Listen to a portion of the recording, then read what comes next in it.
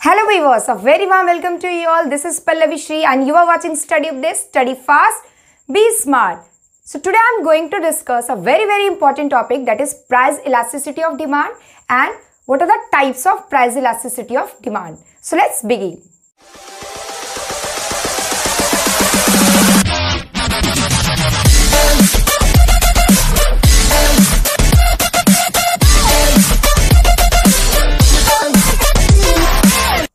As you know, we have already discussed about the qualitative definition of demand in last class that is law of demand. Now, today we are going to discuss the quantitative definition of demand that is price elasticity of demand. Now, first we will deal with the definition of price elasticity of demand that is it is the measure of degree of responsiveness of change in quantity demanded due to change in price of the own commodity ceteris paribus means other thing remaining constant. Now, in easiest manner, we can say that the effect of change in price on the quantity of demand. Now, the numerical value of price elasticity of demand is percentage change in quantity demanded by percentage change in price. Now, let us deal with the types of price, price elasticity of demand. As we know, there are five types of price elasticity of demand.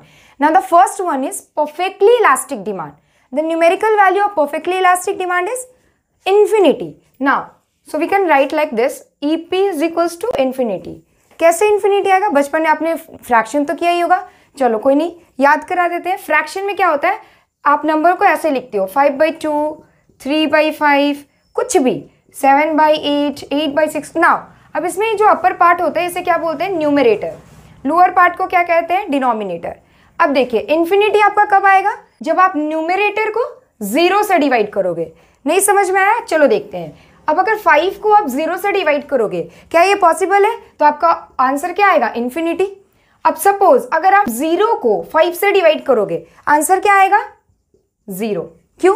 क्योंकि zero लाने के लिए आपको किसी भी number को zero से multiply करना होता है, फिर आपका आंसर क्या आ जाएगा? ज़ीरो बट यही सिचुएशन जब अगर हम उल्टा कर दे, यानी अगर नंबर को ज़ीरो से डिवाइड करें then what will get infinity same case in perfectly elastic demand अब आपका यहाँ पे फॉर्मूला क्या है? Percentage change in quantity demanded by percentage change in price इसका मतलब क्या हो रहा है? देखो, हम लोग कैसे एकदम ट्रिकी वे में हम लोग अपने आप इसके डेफिनेशन को क्रिएट करेंगे। इस, बस एक एक न्यूमेरिकल वैल्यू देखो, अगर यहाँ पे A P is equals to infinity है, इसका मतलब क्या है? डिनोमिनेटर ज़ीरो है। यानी हम बोल सकते हैं क्या? In this case percentage change in price is zero and quantity demanded is changing अभी देखिए, इसमें क्या होता है? एक ग्राफ के सहारे हम लोग एग्ज़ाम्पल लेते हैं।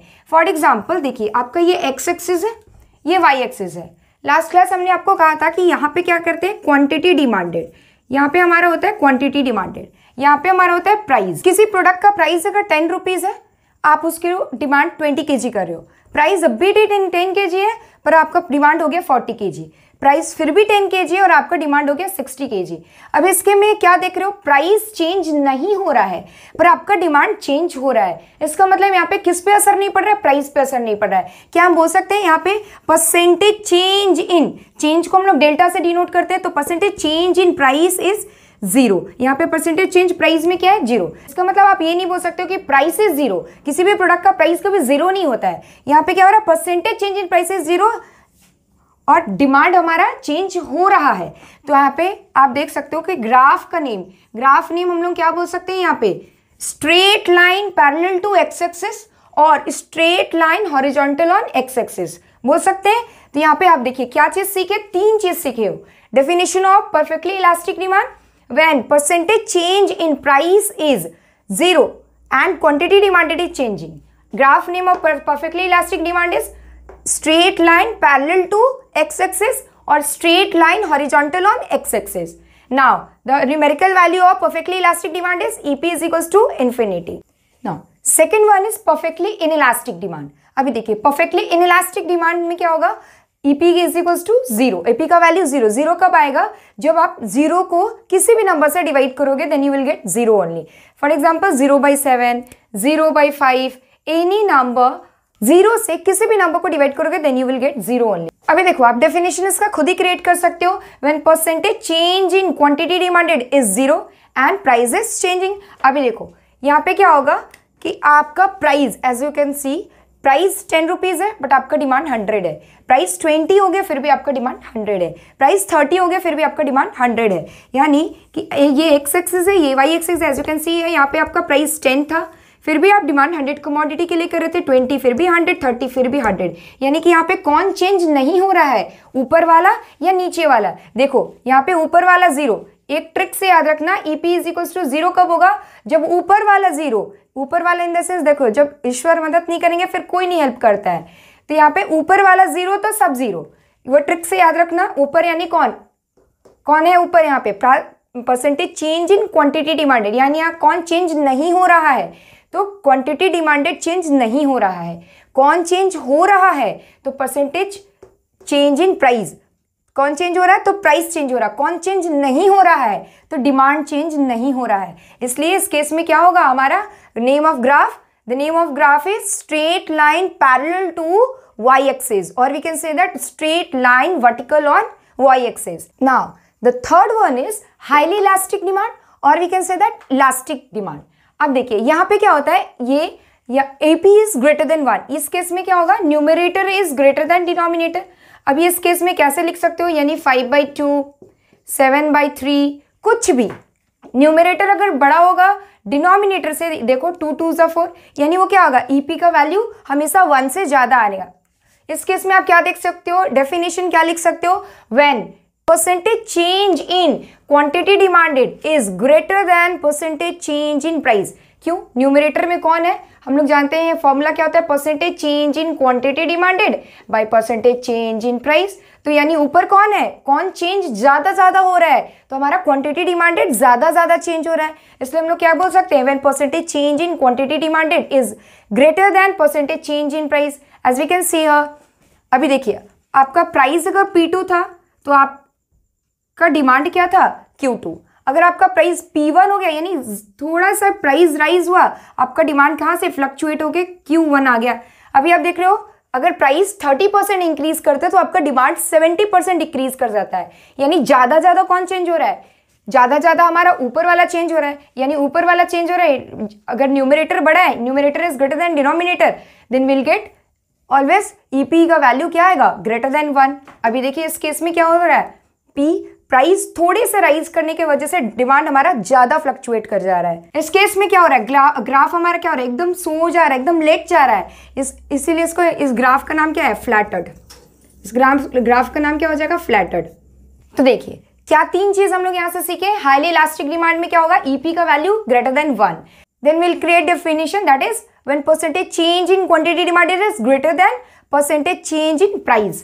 Graph name flatter क्यों? देखिए, ऐसे सोया हुआ है, इसलिए इस ग्राफ का नेम हम लोग बोल सकते हैं फ्लैटर्ड इस केस में क्या होता है? प्राइस जो हमारा है, वो थोड़ा सा इंक्रीज होने से डिमांड हमारा ज़्यादा डिक्रीज हो जाता है एंड वाइस वर्सा प्राइस अगर थोड़ा सा कम होगा अभी इस ये एक केस कौन सा है? लग्जरी गुड के केस में. लग्जरी गुड के केस में आप ज़्यादा ऐसा देखते होगे कि प्राइस जरा सा कम होता है तो हमारा डिमांड ज़्यादा हो जाता है उसके लिए. अगर प्राइस थोड़ा सा इंक्रीज कर जाता है तो हम डिमांड को ड्रॉप करने लगते हैं. ना the fourth one is highly inelastic demand और we can say that inelastic demand इस केस में क्या होता है? EP is lesser than one EP lesser than one कब होगा? When numerator is lesser than denominator और we can say that when denominator is greater than numerator अब देखिए, इस केस में क्या होगा? हमारा न्यूमिनेटर जो है, वो छोटा होता है डिनोमिनेटर बड़ा होता है। इस केस में मतलब यानी यहाँ पे क्या पता चल रहा है? डिनोमिनेटर चेंज हो रहा है। यानी डिनोमिनेटर में हम लोग क्या लिखते हैं? Percentage change in quantity demanded by percentage change in price यानी कौन ज़्यादा ज़्यादा फ्लक्चुएट हो रहा है यहाँ पे? प्राइस ज़्यादा ज़्यादा फ्लक्चुएट हो रहा है और डिमांड कम कम फ्लक्चुएट हो रहा है। अब ये किस टाइप के गुड्स में हो सकता है? जो हमारे नेसेसिटीज ऑफ़ लाइफ के लिए। फॉर एग्ज़ाम्पल इलेक्ट्रिसिटी अब अगर मान लीजिए इलेक्ट्रिसिटी का बिल अगर अब अगर मान लीजिए इलेक्ट्रिसिटी का charges one thousand per unit हो जाए तो क्या आप इलेक्ट्रिसिटी यूज़ करना बंद कर दोगे? एकदम बोलोगे गर्मी के दिन में तो पंखा वंखा बंद कर दो एसी कूलर फ्रिज सब बंद कर दो। हमने तो इलेक्ट्रिसिटी बचाना है। ऐसा होगा? नो इट्स नॉट पॉसिबल आप क्या करोगे? कंजम्पशन करोगे.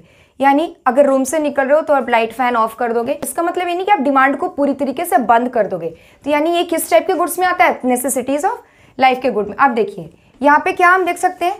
प्राइस अगर P1 था, हमारा डिमांड क्या था? Q1 ये है हमारा क्वांटिटी डिमांड और ये हमारा प्राइस अभी देखिए, जैसे प्राइस पी वन था, हम क्वांटिटी क्यू वन डिमांडेड कर रहे थे।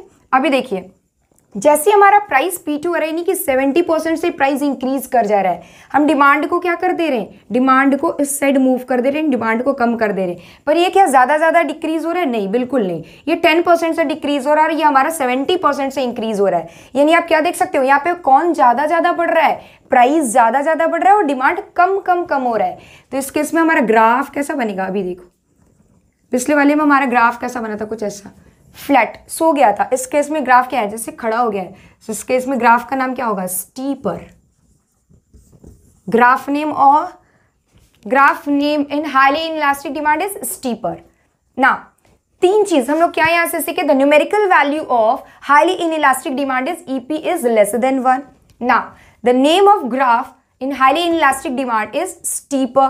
Definition of highly inelastic demand is when percentage change in quantity demanded is lower than percentage change in price or we can say that percentage change in price is greater than percentage change in quantity demanded vice versa ceteris paribus now the last one is unitary elastic demand ये देखिए अपने नाम से introduce है unit in the sense unit means one one कब आएगा जब आप five by five three by three यानी सेम नंबर से डिवाइड करोगे। अब ये मत समझना three by three is equal to zero ये नहीं होता है।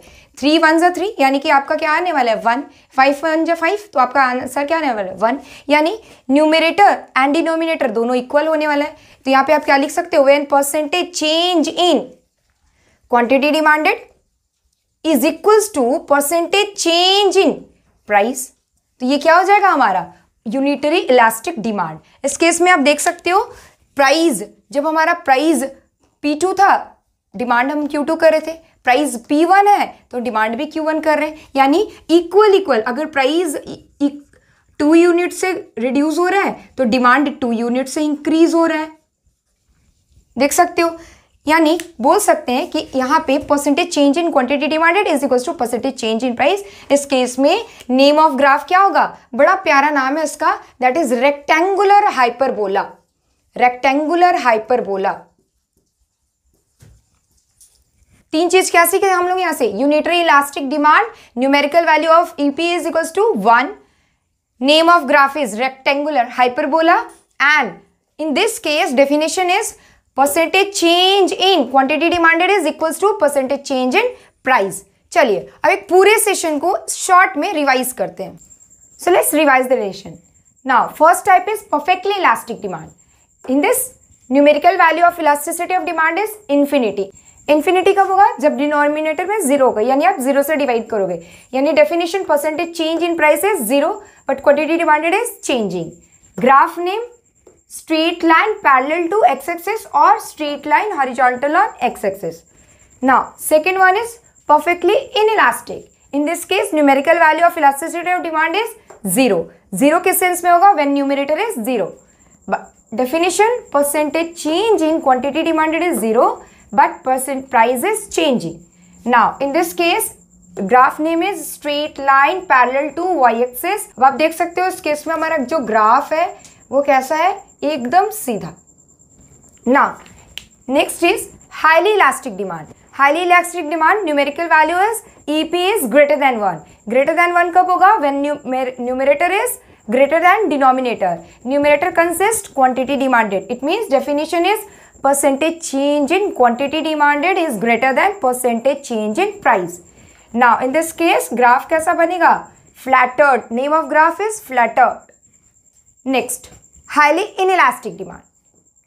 Highly inelastic demand EP is equals to EP in the sense numerical value of elasticity of demand in the case of highly inelastic is lesser than one lesser than one कब होगा? When numerator is lesser than denominator और we can say that when denominator is greater than numerator in this case definition is percentage change in price is greater than percentage change in quantity demanded now in this case graph name is steeper Q steeper देखो, ऐसे ये खड़ा हो गया। यहाँ पे ये सो गया था। यहाँ पे अभी ये खड़ा हो गया इसलिए इसका नाम steeper next is unitary elastic demand unitary elastic demand EP is equals to 1 means the value of numerical value of elasticity of demand in this case is 1 1 consists n is equals to d means numerator is equals to denominator so the definition is percentage change in quantity demanded is equals to percentage change in price in this case the name of graph is rectangular hyperbola now highly elastic demand किस case में होगा in the case of luxurious good highly inelastic demand किस case में होगा? In case of necessities of good. ना perfectly inelastic, जैसे कि हम एग्ज़ाम्पल दिए थे सॉल्ट वाला आप डिमांड के, डिमांड पे आपका कोई भी असर नहीं पड़ने वाला है।